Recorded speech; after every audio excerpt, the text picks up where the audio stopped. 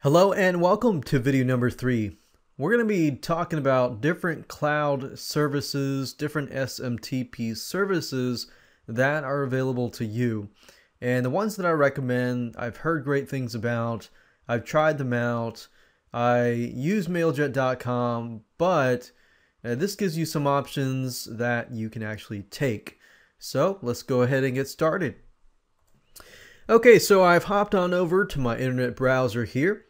Before I discuss the different services that are available to you, I do want to clarify a few things. Now, you're going to notice that there's a lot of different wordage and jargons here, like SMTP, cloud email delivery, and so forth and so forth.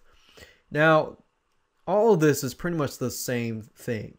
SMTP, cloud email, and so forth all deal with sending email through an email system to your subscribers.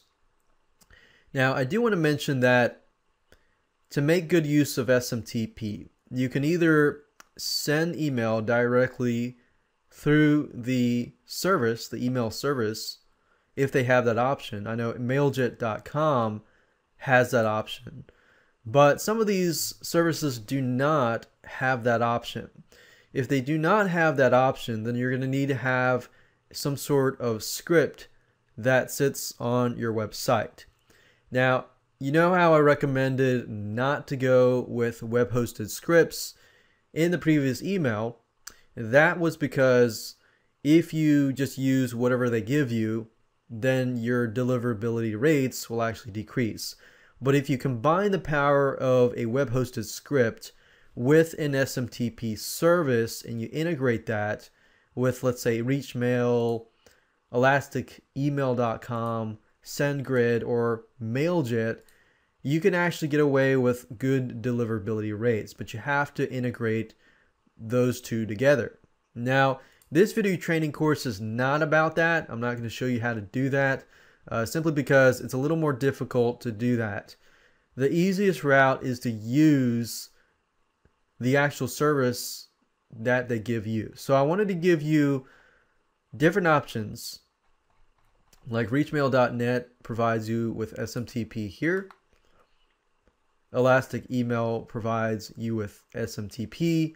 As you can see, it's 8 cents per 1,000 emails. And you can see if you have a list of 10,000 emails, that's not a lot of money. And then we've got SendGrid here. And then, of course, we have mailjet.com. The reason why I recommend mailjet.com is simply because you can log in, create your campaigns, send emails out within the mailjet.com site. They also have plugins that are free and ready to use. So if you have something like WordPress, they actually have WordPress plugins that will integrate with your WordPress site. It is also compatible with Drupal, Joomla, Magento, PrestaShop, Spip, and dot .clear. So I wanted to make sure that you understand the, you know, understand the differences between third-party sites that give you access to SMTP and then third-party sites that not only give you access, but also give you access to the ability to email at the main site. So you don't need any fancy scripts or anything like that. So we're going to be using mailjet.com and I'm going to go quickly run you through this so you can understand how it can benefit you and your business. So as you can see here, it provides you with cloud emailing. It improves your email deliverability rate.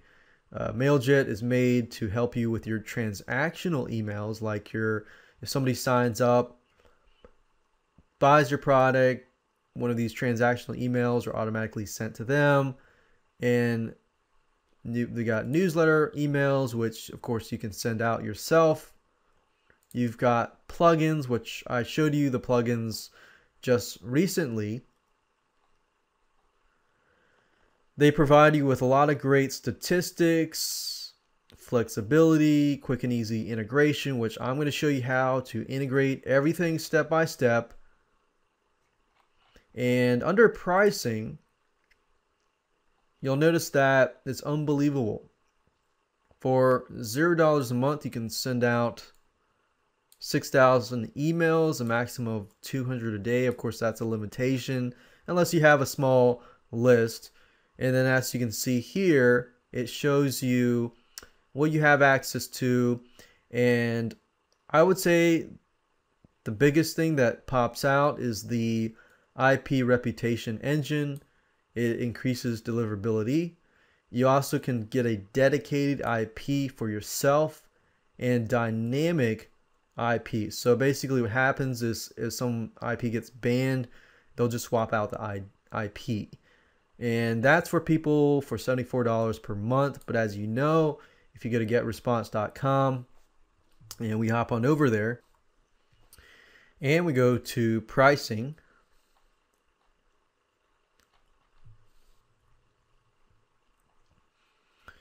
As you can see here, a list of 10,000 subscribers is $65 per month.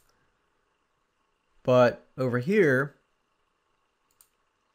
you get about 120,000 emails per month. Now, this is of course subscribers, so it depends on how many times you email out.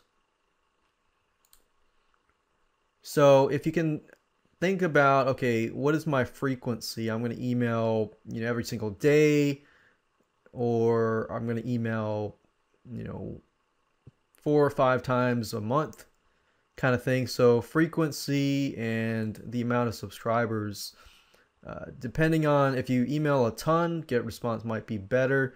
Um, but just starting out, you know, instead of paying 25 or 45 dollars, you could be paying 0 to 749. In fact, I am using the 749 per month plan and I can send as many emails up to 30,000. I normally don't even reach that amount. And the deliverability is just wonderful.